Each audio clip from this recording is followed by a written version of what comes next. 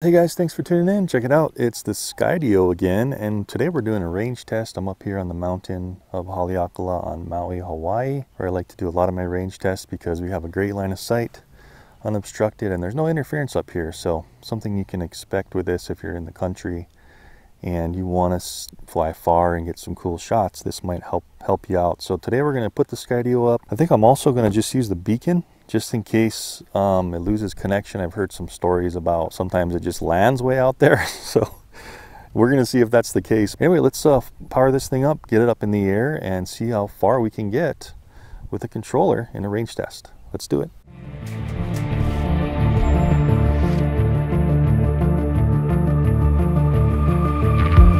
Okay guys, so here we go. I have my screen recording. Just had it sitting here for about a minute and I've had that this is the GPS beacon here, had that on. And so everything's connected all together with the controller, the beacon, and the Skydio. 4K, we want to be in 30 HDR. Yep, so we'll just do that and just see how it does. Let's go ahead and launch. So I'm just holding it to launch. Taking off as normal. Okay. And it's turning around. Oh, cool they got that done pretty good. But we don't want to um, track ourselves, right? So let's X out a motion track here on the top right. Oh, it's just starting to orbit, neat. So I'm gonna X out of there and then it just stops everything. So we'll turn around and we will just go straight out that way. Get my position how I want. And let's just go forward. Okay, so I'm just full stick forward and I'm going to have this video up on the screen so you guys can see this. Maybe go up a little higher. Okay. So we're only going 11 miles per hour. I did do an update and there's all, there's actually another update that you can do but it looks like that update just uh, solves a crash from Adobe Premiere or something. So I'm not, not even going to do that update. We're just going to fly it as it is uh, we wanted to see if we can turn our gimbal down. There we go. So moving the gimbal, we're only flying at 11 miles per hour. So we're going to keep an eye on our battery, 90%. If anything happens and we still have range, we'll just turn around around 50. Um, looking good so far. There's actually some clouds over there, so maybe I'll come down a little bit. And that's great. We have our telemetry over there um, in the left top of the screen. I'm still full stick forward. There is some breeze coming at us here. So it's fighting a little breeze, which is good because when you're doing range tests, you want to have be with the breeze on the way back, right? Um, so I'm just tilting the camera up and down a little and just really just looking at the video quality in my screen here on the phone.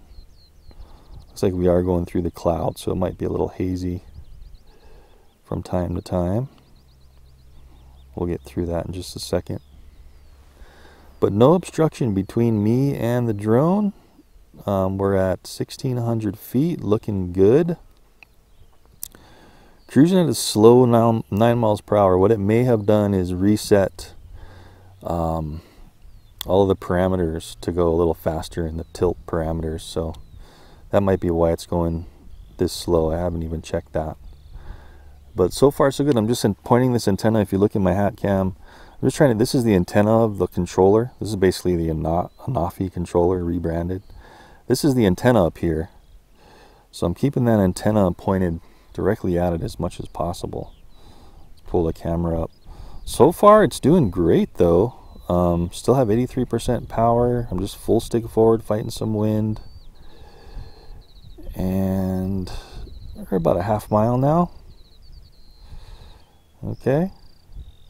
I'm not seeing any hiccups whatsoever in the um, video on the screen which is good. See how I'm moving this gimbal down nice and smooth. Let's get a full downward shot all the way down. As we're moving slowly over the countryside here so that's pretty cool. Look at that. On the screen, it looks great. A nice HDR shot. And let's pull the camera back up.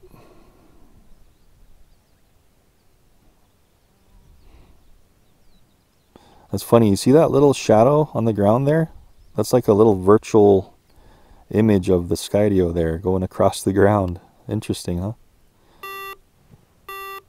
Oh, looking for Skydio. So the beacon dropped out at 3,000 feet, guys. And it's beeping at me. There's a red light.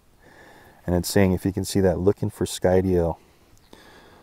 So that beacon ain't working no more at 3,000 feet. So we're apparently direct connecting to the Skydio, I guess. It didn't connect through the controller like I thought it would. And now that's saying hovering, select for motion track on the actual beacon. Still looking for Skydio. On my screen though, I'm seeing it still moving at about 8 miles per hour. Looks like there's a little more wind over here. Uh, but it's totally smooth still. I'm just going to keep going out until we hit about 50%, guys, or maybe even 60 just to be safe. Because in the park, this thing landed really quick. I'm going to turn a little to the right there and maybe come down just a tad. Um, so I'm surprised. Uh, this is great range. I just did a range test on the Power Vision PowerEgg X and it was already very choppy here. Boy, we're going into the clouds, aren't we? Um, let's come down a little bit. There we go. Just on the fringe of those clouds. Still going strong. It's just going slow at eight, eight or nine miles per hour. Still trying to move the gimbal. Okay, a little choppy. If you look at that there on the phone screen, it's getting a little choppy when I'm moving up or down. Wow, look, I can see the Skydio image on the cloud. I think it's sensing maybe the bottom of the cloud or something. You see that in my phone screen? Little image of this the Skydio um, dropping in and out there when I pull the camera down. Let's pull the camera back up and maybe turn a little bit to West Maui. Just try to get out of these clouds. You see to the left there, it's a little bit uh, cloudy there. So anyway, uh, I am definitely surprised at how much range we're getting this. We're hitting a mile now. See up on the top left, we're at 52,000 feet. So we're hitting a mile. And we're at 66%. So fantastic. Better than I thought it would be. It's a little bit hiccupy when I'm going up and down. You see that uh, pixelation. Okay. Um, return limit reached. All right. Well, you know what? Just to be safe, I'm going to hit return and we went over a mile. That's safe to say. We went over a mile. It started to get really blotchy um, when I got to that.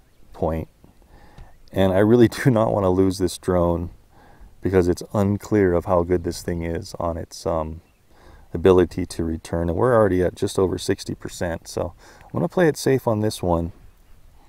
Maybe I'll do another one and risk it a little more if I have a better place to land. I'm trying to move the gimbal up and down and it's completely locked. So I can't do any gimbal movement. And I'm really trying to hard to look at the screen. Oh yeah, that's right. We're, the Skydio comes backwards when it returns to home. Okay. So we're coming home a little faster and we're with the wind now. So we should be just fine. But I gotta say, I am um, a little bit, a little bit impressed, uh, more than I thought. That this is going more than I thought it is going. I should say, with a clean picture. Really wish we could do some kind of movement when we're coming home now, though. I can't move the gimbal or do anything. We'll just let it come home and um, see where it lands or see how far close it gets. This one's kind of weird because it doesn't seem like it really lands back where you took off. It comes where you're at, and it just waits for a command when it gets close to you. So, I do have good video. It's very clear. I can't move my gimbal again. Coming at it back at 10 miles per hour. And what is it? It's only six feet high. is that what it, that means up there on the top left? Yeah, but it should be okay because six feet high where I'm standing is clearing everything. You know what I mean? So there shouldn't be an issue there. I want to try to turn the head. Nothing. So no head turning. Um, what if we try to push forward on the stick? Let's see what happens. Nothing. Still coming home at the same rate. Pull back on the stick. So it basically locks out all your controls when it's returning home, FYI. Okay. And that's fine. I'm just going to let it do that. We're at 51% and we're coming back at uh, 9 to 10 miles per hour so that's perfectly fine. I have no problem with that. So far very impressed. Guys camping up here at Polipoli we just camped. My kids are actually over in the tents down at our camping spot. This is a great place up here on Maui to um, see the views and do some camping especially in the situation here because you can really distance yourself from people you know? And um, you know you can keep your social distancing and nobody really bothers you you can see there's one truck way over there I can see hear some people way down there so yeah in these weird times you just want to this is a great place to be anyway it's almost like I can hear it coming back. That picture looks really nice. And it's just been coming back solid. Um, this is doing way better than I thought it would. So congrats Skydio, you you did a good job at um, well at least in no interference areas. They did a good job at uh, giving you a nice clear picture, great control. And we went past a mile, remember? No, that was a car I think I heard, not the drone. So the return to home is working great. And the battery scale looks like it's also doing good because we're still at 41% and we're just over 1600 feet away. So it is coming back nice and slow. Let's check out our maps real quick, guys, while it's coming back. There we go. So we do have nice quality maps. It's using my phone data. Click on that, and we look at that. We have our um, satellite imagery. So that's all pulling in and working great. Again, I was saying I did a just did a range test on the PowerEgg X, and they're still having trouble with their maps. So that's unfortunate. But this one's working great. You just hit that. And there we go. So we can do hybrid with street names. We can just do a street map. And you hit it again and you just have a satellite without street names. So that's great for whatever reason you want. Okay, now I'm definitely hearing it. Gonna tap on the video screen again. Just about 700 feet away and I'll have had that remember that 4k HDR footage up there while I've been talking and you guys have been joining me on this journey to see these capabilities um, but I want to say just over a mile. Again when we hit that return to home spot I will have that have had that um, range pop up in mileage and footage. And then when we do a pros and cons I'll probably also have that pop up but there we are. So I'm seeing it in my hat cam. Um, yeah, maybe a little higher than five feet from my location, but that's okay. Uh, it seems like it's pretty accurate for the height. 100 feet away. Oh, it just got lower. Oh, it dodged that bird. That was cool. The bird flew right over it. Did you see that? And it went down a bit. Unable to return. Oh, and then check this out. flying to waypoint is what the beacon says. It just beeped at me. It's only got 30% power left. That's weird. So anyway, this is where the Skydio decided to return to. See that?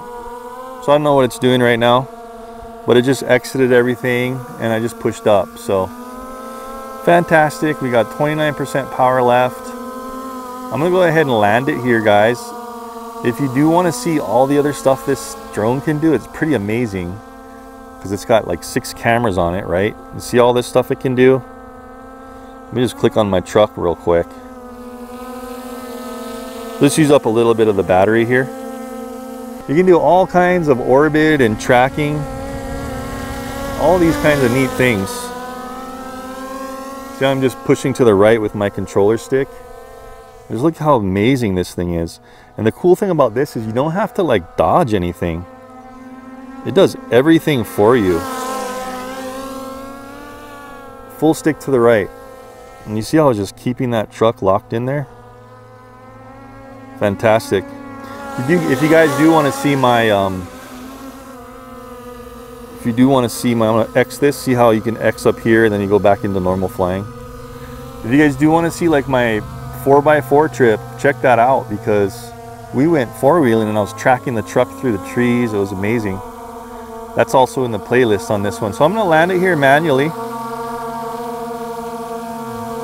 Doesn't really want to move around too close because remember this does have obstacle avoidance. Let's have it land. Pulling down. Nope. We're just gonna have to press land on the screen. Sorry about that, I totally forgot. Pressing land, holding land. You can still move it around a little if you want to, if you're off and you have to adjust it, but um, that's it guys, awesome. Man, this day is just getting more beautiful, look at that. What a nice day. Okay guys, so what'd you think? First Skydio 2 range test here. Remember, this was a, a totally clear line of sight flight with no interference in the area. All I had on my phone was the, the data. I had Bluetooth and I had Wi-Fi off on my phone. Um, that flight got us down to 15%, but I'm surprised. Um, did better than I thought. We got over a mile. Again, I'll have that exact, those exact numbers pop up um, when we did turn around, the exact distance. It was going kind of slow, but you can adjust in the settings. You can adjust the attitude on this and you can make it fly faster. Uh, I think since I did the update, it reset all that stuff. It had very smooth video all the way up until it wanted to return home. And I just kind of did it. That was its own like uh, calculated return to home. As you could see up on the screen, it was saying, I think it said only enough to return home. So better safe than sorry on that, especially with one of these expensive drones. But I may push it a little farther. It gave me the option to cancel that if I wanted to. And we did get back at maybe around 29, 30%. So we could have tried to go farther, but when it did have that warning up, remember it did uh, get really, really pixelated and it looked like it was going to be dropping out anyway at a little over a mile. So anyway, that's the Skydio 2 range test, guys. And don't forget, oh, somebody's flying a race wing. cool. Don't forget that uh, I will have the Skydio playlist pop up here if you want to see everything from the unboxing, to my initial flight with just the phone tracking and also with the beacon tracking when I track my truck. That was in my maiden test flight. Then I did a park flight with the controller so you could see how it really all works with the controller. And then this is finally the range test. Definitely gonna do some more. I'm not really done with this. I wanna do some faster tracking and stuff. Um, you guys probably have seen a lot of videos, but I wanna do my own kind of fast tracking stuff on this too because it's really good at that and just amazingly awesome at avoiding obstacles. I'll have had that HDR video. Let me know what you think in the comments down below. Again, playlist down there also, and also where you can pick up and buy the Skydio and see more of the specs if you're interested. Anyways, guys, thanks for watching, and I'll see you in the next one.